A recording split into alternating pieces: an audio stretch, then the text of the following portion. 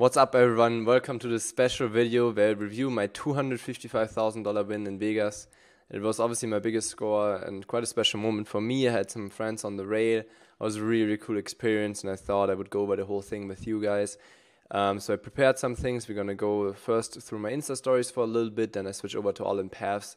A good friend of mine, I mean, most of you should know him by now, that was following the action, was railing, and did a nice Twitter thread, and pretty much posted everything you needed to know in there.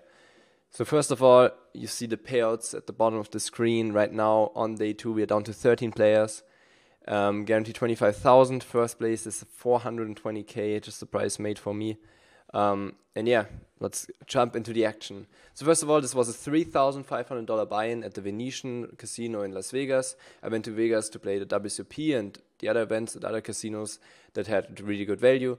It was an unlimited re-entry event and lasted four days. I played it from the first minute because uh, usually at the start a lot of regulars don't really want to play already. I don't mind it. There's lots of weak players around, and yeah. So I jumped in there with 200 big blinds, grinded up, had a pretty good first day, had a good second day, um, where I was short on the bubble. Managed to eventually cash though and bag a nice stack for day three. On day three, we played down to 13 players, and just before the end of the night, um, I had like a really good day. Obviously, chipped up, chipped up, chipped up, and eventually I won that. Made a nice hero call where I called down three streets with King Nine. What happened is um, cutoff limit of 20 blinds, small blind completed. The uh, cutoff was a Spanish regular, good regular Small blind was Danny Tang, also really good regular, won the 50k WCP later, and also a Natural8 ambassador. And then I checked the big blind with the King 9 offsuit. Um, flop comes down Ace King 10, so I make middle pair. We see a quarter pot bet from the limper of 18 bigs once again. Small blind calls, I call. There's a flush draw on the flop, and now the turn is the nine of spades, giving me two pair, but also there's a second flush draw. So we have two flush draws on the board on ace, king, 10, 9. I turn two pair, it goes check, small blind, I check the big blind, and now the cut of double barrels for 80%. Small blind makes the fold. I decide to just continue, even though jamming seems also fine. Reverse the six of spades.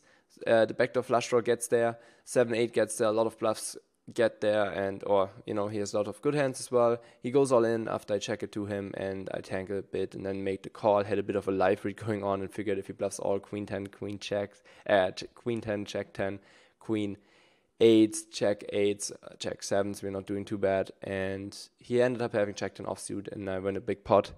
And yeah, so into day three, I go sitting. Uh, into day four, I go in uh, third chips, pretty close to chip lead though.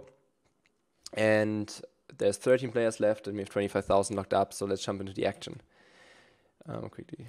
So there are the payouts for the day two once again, but you see them below as well. Quick Insta story. Alright, day two starts soon. We're actually already down to 13. There's this day two, that's the casino. And we start off the action really, really sick already. So, one of the first couple of hands, I just want to win a couple of small pots, right? I want to keep it easy, but nope. I open the hijack with ace jack offsuit. The button flats, really good regular, and the big blind comes along of 20 blinds. Flop comes down, queen, jack, six, I want to say. So I flop middle pair and yeah, queen check five. Queen check five is the flop with the flush draw. It's checked around. Now turn is an eight, so 10-9 makes a straight now. Big blind checks it again. I check it, and now the cut, uh, the button flatter decides to go for an 80% bet. Big blind folds. I continue. River is the six, so it's a queen check five eight, six board. So even nine seven gets now gets there now. I check it again, and now the button bets pot, and I'm in the tank. I mean, this is a pretty big spot. A lot of people bet a lot, like a lot on the flop. Don't really find these bluffs in this in the spot. I had once again a little bit of intuition going on. It's really tough to explain it, right? It's not something that you can grasp, but it was just a bit of an odd feeling about the hand, and I'm really deep in tank, don't like it, but there's just this little feeling I have. I think my hand is not the worst to call. I had the ace of diamonds blocking the flop flush draw, which I think he's more likely to bet, even though he disagreed later on. Um, I was in the tank, you know, just hoping for the king 10, the king 9, to check the flop, and yeah, make the call. He has ace 10 offsuit for ace high, and I win a big one there to start the day. I'm gonna continue here. We're down to 12 now. Had an elimination, 30k locked up. We make the 10-handed final table very shortly after that, just chilling, and now we are on the final table of 10. Final table starts pretty well. I open ace king, guy three red jams queens. We flop the flush draw, turn the ace, and he busts. So then you have 100 big blinds, 37k locked up, biggest score of my career already, and we are down to nine players. And another elimination, 50k save. Let's quickly listen to this one on break. Uh, outside on break right now, sick hand just before the end of it. Um, small blind Elio Fox, super high roller, regular um, raises 3x of 18 big blinds in the small blind. I get aces in the big blind and just call. Flop 873, two diamonds.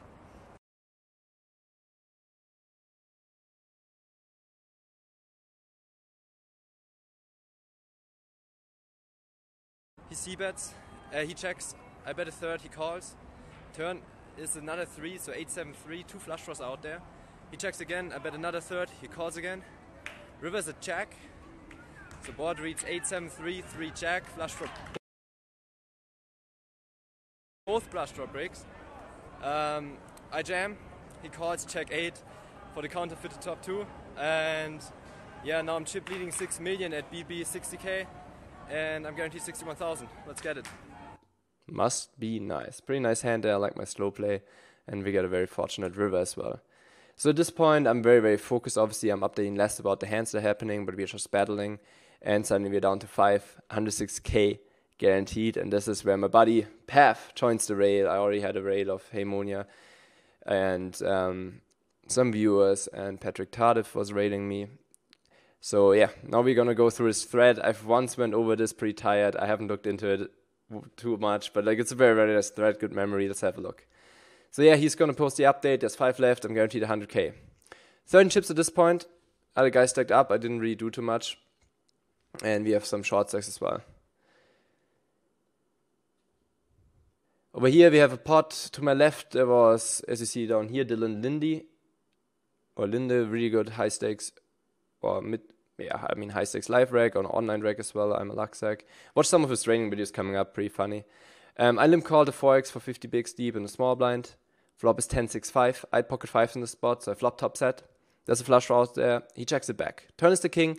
I decided to check it again. I want to have some check raises on this king. It's a nice card for him to stab.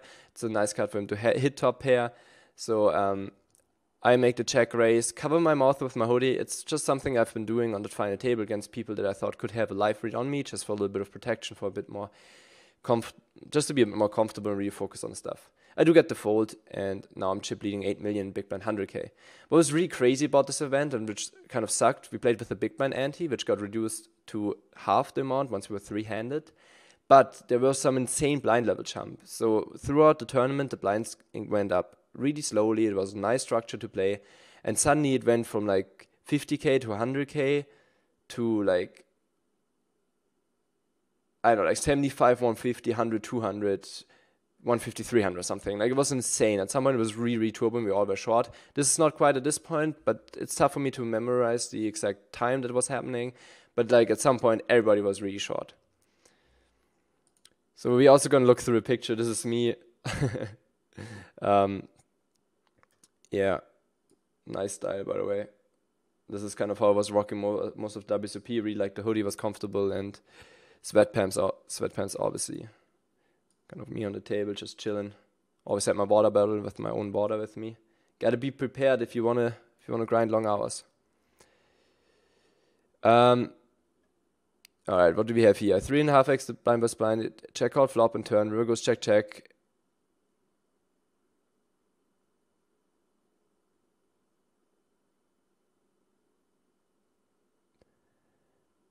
I don't think this quite happened.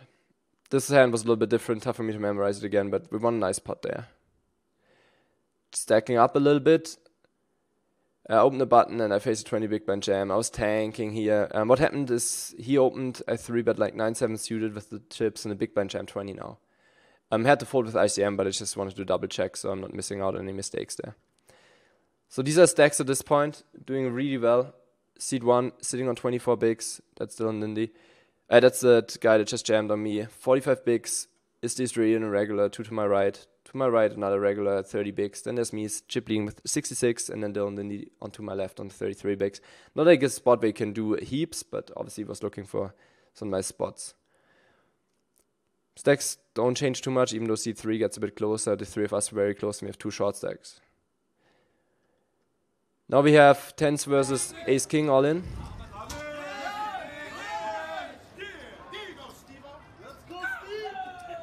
See, action was wild and he ends up winning it. So stacks are quite even at this point. If you look at it, 30, 22, 43, 46, and 15. Wow.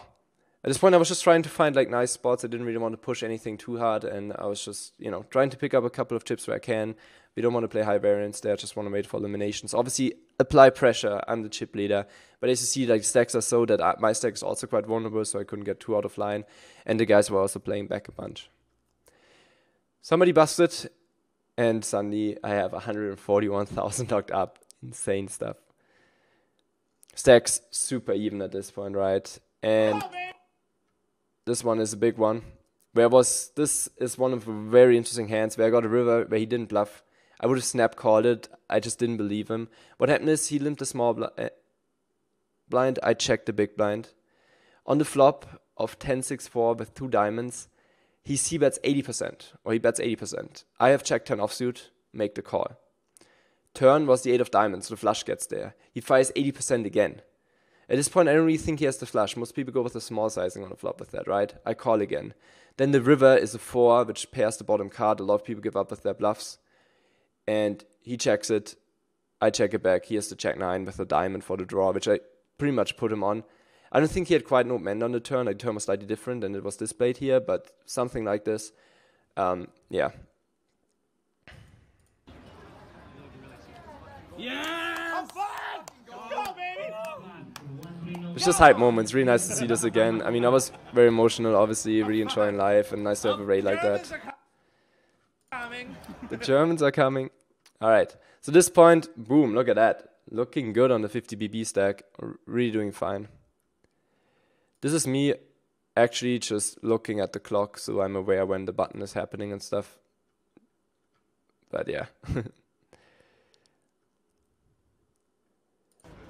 what you see here is us complaining as the blinds go up to BB 300k. Like it went way too fast. Suddenly this is like went from a nice structure to like these stacks as you see.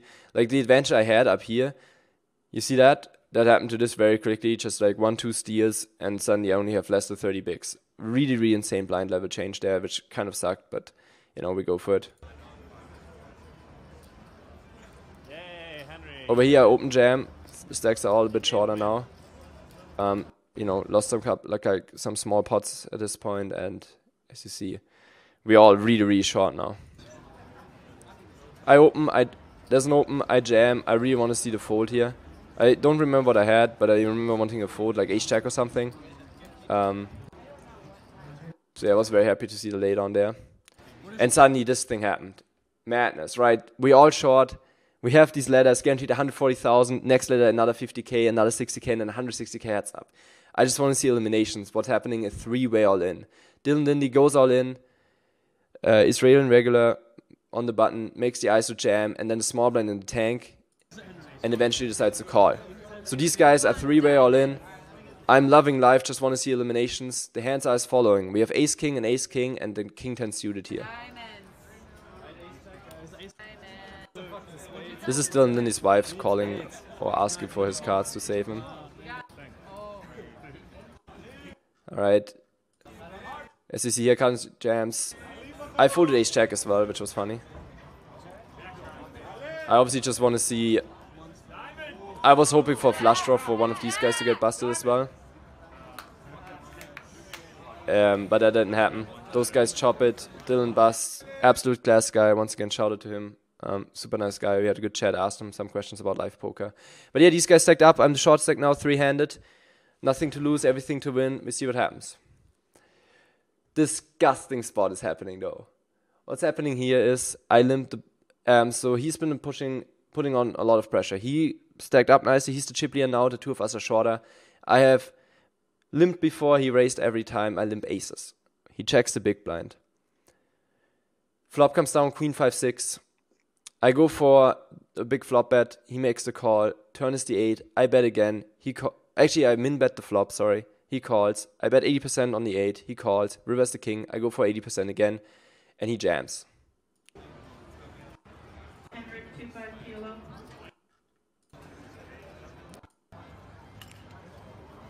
He moves all in, and I'm like super disgusted, right? I personally feel like this spot is very underbluffed. We don't see that many people going for it here. Um, I asked him later what he had. I laid down my aces because there's many two pairs out there. The straights get there on the eight turn, like seven nine, um, seven four. Didn't didn't like the spot. Like he needs to bluff like a six seven now an eight seven. Are people really doing it when I can have good hands here as well? Like bunch of two pairs, bunch of straights. I didn't think so. Didn't think it was worth it, especially three handed with ICM to consider. So I make the fold, and he later told me he had six seven, but we will never fully know. I think he had the six seven, so sick bluff by him. GG. All right.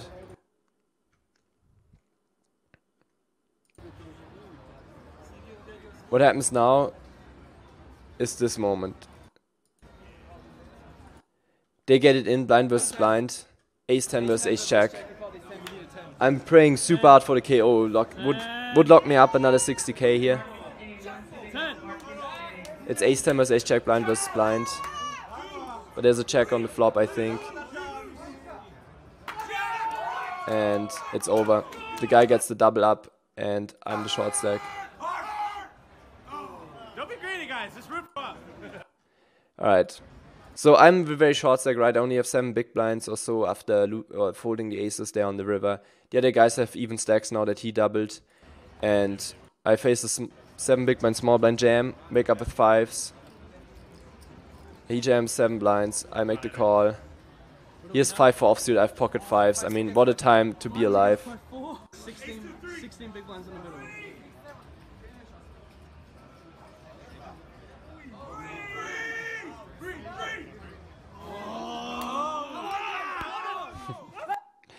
So I win the pot in the end. Get a steal through. I have 10 big blinds again. This is kind of the rail at this point. There's people sitting on their, their luggage that kind of stop by. It's pretty sick. Like beh- behind me where the picture is taken, like there's so many people standing there. Just insane scenes. Feels like a gangster movie in fucking Vegas. Just insane times. Next hand, I'm all in. 8 9 off for him. I have the ace king. Good spot to stack up nicely here. Just praying super hard to hold here, right? Massive pot to get back into this.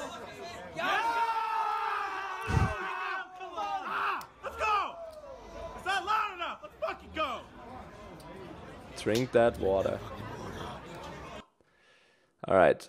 So these are the stacks now. Seed 1 at 60 bigs, seed 2 at 30, I'm at 17. Um, I'm just going through these updates. Really tough for me to remember anything. And then one of just the craziest hand happens. I'm the short stack here, really, short again.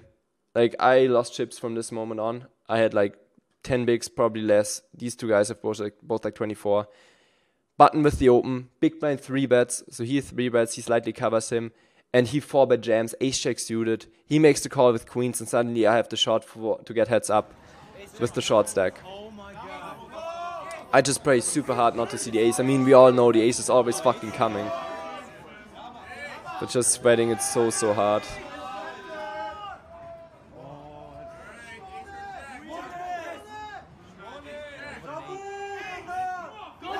Yep, and I just made another 60k there. Doing nothing. Doing nothing. It's super funny. I went over to hug the guy afterwards and said thank you to him for busting him when the other guy was gone, obviously. it was a funny moment. We had a good time. Alright. He had around 50 bigs now with that double. I had 10 bigs, so I was a huge underdog. We get in with queen 10 each. Actually, one picture I quickly want to show you guys at this point is. Um, let me quickly pull that up here. This is what we're playing for right now. We have this, whatever you want to call it, and the trophy. And obviously 420k. At this point, I didn't take a deal. I wasn't aware that you were allowed to take deals. I've just heard of it uh, that they're not facilitated during WSOP. I just assumed it was in every casino for some reason. Um, so I, I, didn't mention it. Um, I should have done it, obviously. It was two minutes before the break. I wanted to contact it in private. um, you know, if you want to do a deal, and because I just didn't know if I could even say it on the table, right? Like it's tough to really think these things through right now. I would have just said, okay, I should mention something, um, but yeah. I mean, at this point, he still has like a big chip on me, so it's not the worst. it does actually happen. Uh, I look at the rail. I, I say to Pav, "Hey Pav, I'm up more than you this year." I had a good time. All right, and here we have the final hand. Villain goes for the 12th big blind jam with a7 off, and I call fives.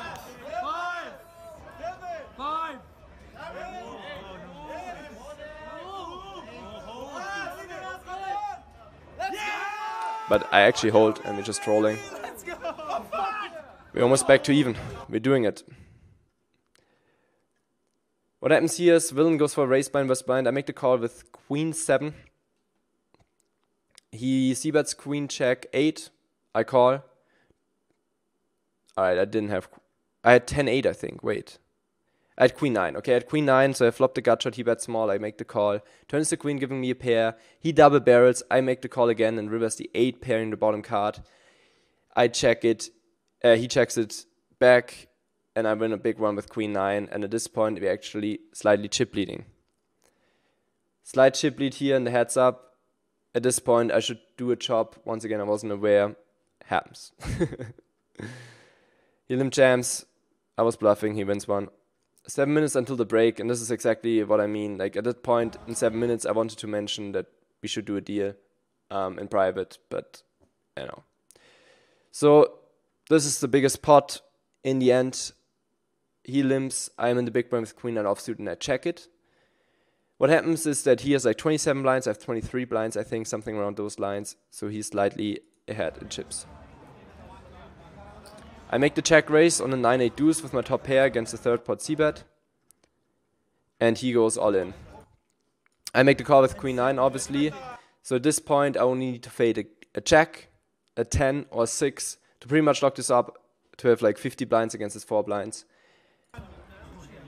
Hold, hold, deuce!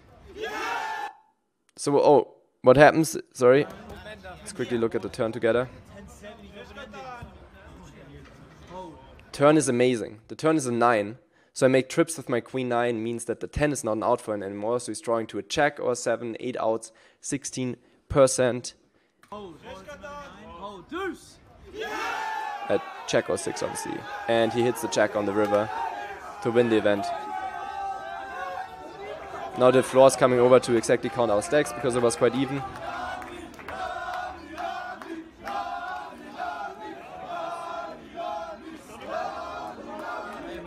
Not sure what they're shouting. I don't speak Australian. That's a six Henry. That's a six. Just fist bumping random people on the rail as well.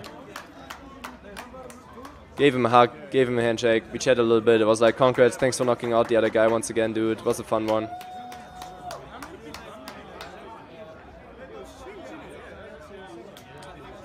like he was a very nice guy. I was I was trolling with him a little bit when I saw him around the Rio. I was like, "Fuck you," and making some jokes. Uh, we had a good, you know, it was fun. Um, obviously, sucks to not win in the end. It's just something that like haunts me a little bit. I would have loved to win that trophy. Like obviously not 160k, sure, why not? But just like to win a live event is just so, such a rare thing to happen, and uh, would have been a really really cool moment. But obviously finishing second and getting that huge score is absolutely insane. Um, like for me personally, doing the fine table, it was a lot of fun in the beginning and even throughout it. But right now, like it's still really tough for me to go over the final table again. Like I remember the hands, but it was just like a dream. You're so in the zone and so focused, and then you're still making chokes at the time, right? But like still, it's just you're on this six six level. I didn't eat very much that day. I was just really really focused, just sitting there trying to take everything in, picking up everything that I can. So when the tournament ended, like my head was just buzzing, it was ringing. It was four crazy days. I just won 250k. I haven't eaten anything. I didn't even want to party or anything. I just grabbed some food. I got messages. My brother was railing from home in Germany in the morning. I got messages from people I went to high school with. Like, I've been doing this for such a not not. I mean, I've been doing this for three and a half years, and I would say I've been quite successful with what I'm doing. Right, I started with 100 bucks. Now I won 255k. But even like before that score, I think I've been doing quite well. Um, but it's really tough for normal people to comprehend what I'm doing because it's just this Twitch space. You win that money, and then you know you get a sponsorship deal, which is like a huge thing for me personally. But it's very tough for, for people from the normal world to realize that. But a win like that in Vegas, when you play for that much money, is something that the average person is also able to understand. So to get like a bunch of positive feedback from people that you know I've known for years is just insane and was a great experience and like legit like my brother railing in the WhatsApp group that I have with my parents was just an amazing feeling and legit one of the best things about this score. Um, so yeah, just a very very cool experience there in the end. I hope you kind of enjoyed this little sum up. As a very emotional moment for me, I, I didn't sleep till 4 a.m. I didn't party or anything. I was really not in the mood. I just needed like a bit of peace and time to recover. The next day, I was just chilling at the pool, smoked some weed, had some beers with the boys, and then the day after that, I went back into the grind because I really enjoyed it in Vegas, and that's kind of it. I don't really have the crazy cocaine hookers strip club story, um, but I have a very very good experience, and yeah, I don't know, just a, a crazy crazy trip. Uh, one more picture actually at the end as a teaser for everybody that lasted till now. Uh, we took some of the money in cash, this is I took 75k on the first day and then another 180k the day after. So these are pricks of 50k and like another 30k, 35k over here. Uh, I mean, just look at this. This is fucking insane. This is like hangover shit. My first trip to Vegas to be that fortunate to get that good run. Um, I mean, for the guys that follow my Twitch stream, I've been running bad online for like two months or so before I went to Vegas. I've still felt really good. Like life was doing well. I've been healthier than ever before but it was obviously just pretty annoying. But I was ready to play in Vegas, and if I, I ready to just, just lose a lot of money, I went there with the mindset, hey, I lose 40k on the strip pretty often, or like 20k, 10k, and that's all fine, you know. To come out with that much profit is just insane, and really, really nice, you know, just to relax a little bit. But yeah, now it's back. Time to go back to the online grind. That's what I'm doing. I want to keep on improving. Obviously, still take time off, spend time with friends and family as usual to just not fully go into poker and only have that for you going uh, going for you. But um, I'll just continue to grind online, try to move up the stakes, play some more live events, and hopefully, I don't know, things continue going that well. So thank you very much for watching. A little bit of a different video, but hope you enjoyed it nonetheless. Um, once again, just an insane experience. Nice to have that video. Interested to see what you guys say about it. Um, I see you in the next video with a normal poker highlight. Thank you very much for watching. Have a good one. Peace out.